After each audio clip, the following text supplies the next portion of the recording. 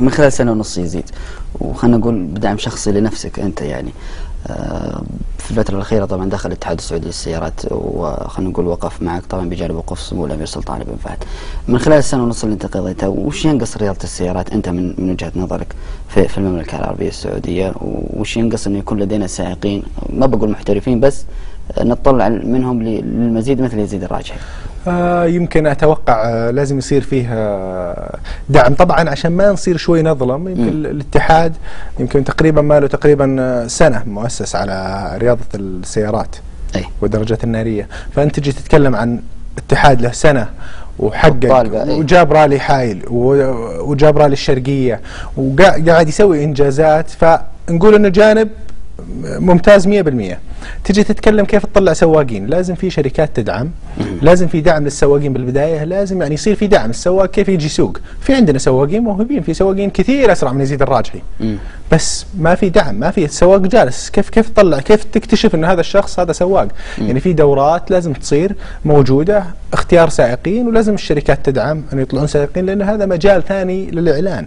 يمكن الشركات يمكن في بعض الشركات ما عندها الوعي الكافي. يمكن أي موضوع أي نجاح فكرة مش النجاح إنك تسوي يمكن الشركات إنها تخاف تدخل في هالمجال ممكن يعني. لا يمكن ما عندها يعني. مش تخوف ما في وعي. يمكن تجي شركة تقول أنا بنزل إعلاني على سيارة رالي طبعا هي فكرة يعني أي مشروع تلقاه نجح في الدنيا أو بهر أو شيء طلع عن القانون تلقاه أصلا مشروع فكرة مم. يعني أي مشروع تلقاه مثلا برز بطريقة معينة فكرة يعني مثلا يمكن برنامج كل الرياضة فكرة صحيح. يعني أي شيء جديد فكرة. فأنا أشوف إن فكرة إعلاني سهل إن الشركة تروح تنزل إعلان في الجريدة. والله شركة كذا كذا تنزل دعاية. بس تجي عن طريق ثاني تدخل للعميل عن طريق رياضة سيارات رياضة محركات. طبعا تصير الشركات اللي مربوطة. بالمنطقة أو مربوطة في السيارات أو مربوطة في المحركات أو مربوطة في الصحراء أو في القوة أو في المسافات أو في النقل أو يعني في مجال عديد مجالات عديدة. فأتوقع يعني آه، إذا صار عندها الوعي الكافي والدعم الإعلامي فراح تمشي إن شاء الله.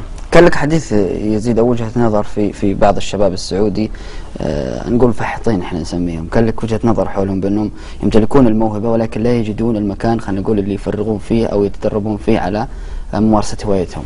طبعا يمكن الناس يمكن آه، يسألون يمكن كم مرة حوار يقولوا إيش رأيك في المحطين؟ أقول عشان ما نصير نظلم الجماعة، هذول سائقين محترفين ولكن في المكان الخطأ.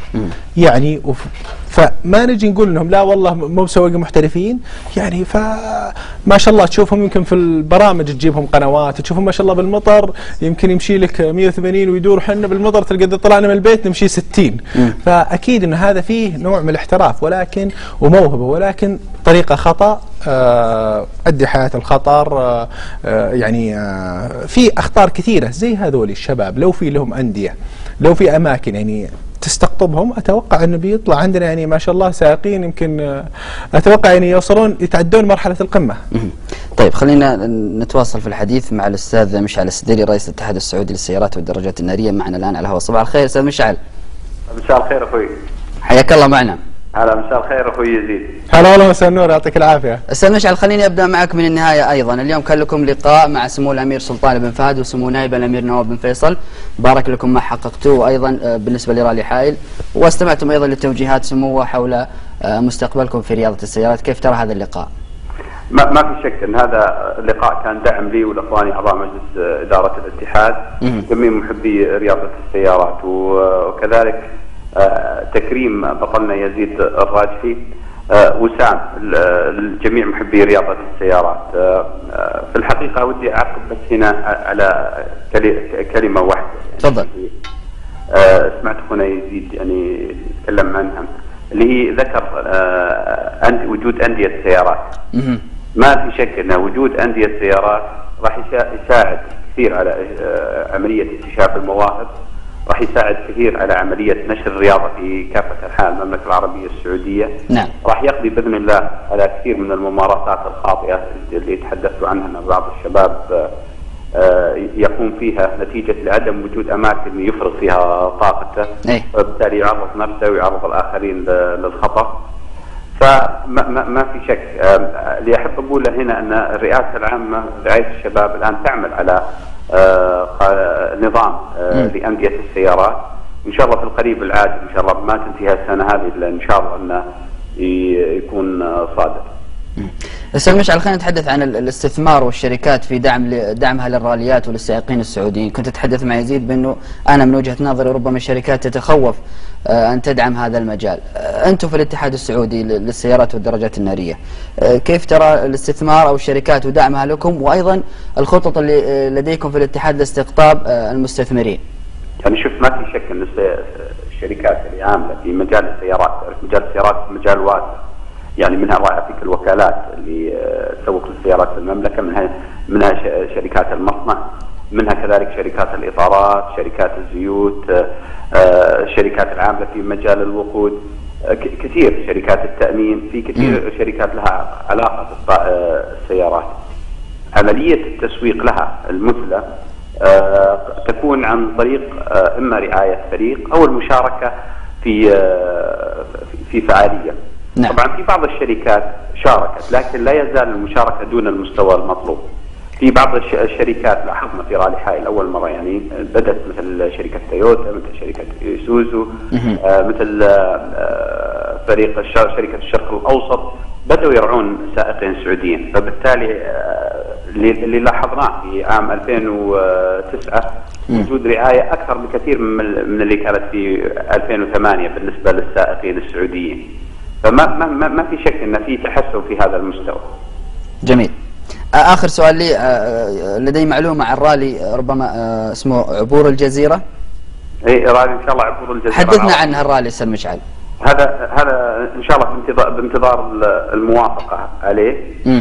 وطبعا صاحب الفكرة صاحب السمو الملكي آه، الامير آه، نهار بن سعود بن عبد العزيز يتقدم سمو الرئيس العام بفكرة عامة الرالي طويل يعني شبيه باريس دكار. وتم الاتصال والتنسيق مع الاتحاد بحيث دراسة الفكرة. طبعا الآن لا يزال في مرحلة الفكرة لكن إن شاء الله إذا إذا الله كتب هو راح يكون من أطول الراليات في المنطقة. وبحيث إنه يقطع المملكة من الشرق إلى الغرب ويمر حتى بعدة صحارى منها الدهنة والصمان والنفود وحتى ينزل إلى إلى الساحل الغربي. الأستاذ مشعل الصديري رئيس الاتحاد السعودي للسيارات والدراجات النارية شكرا جزيلا لك.